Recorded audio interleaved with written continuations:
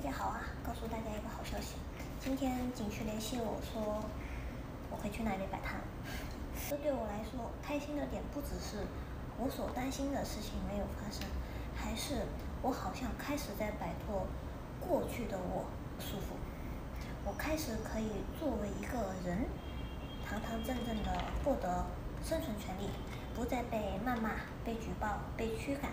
被拒绝，这就是我今天想跟大家分享的好消息。另外就是，虽然景区那边我可以去摆摊了，但是我还是想去昨天那个小姐姐那里去摆个三天左右。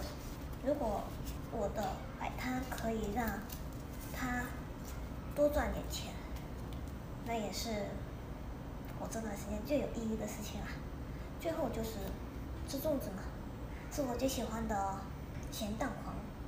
肉粽，明天见呀。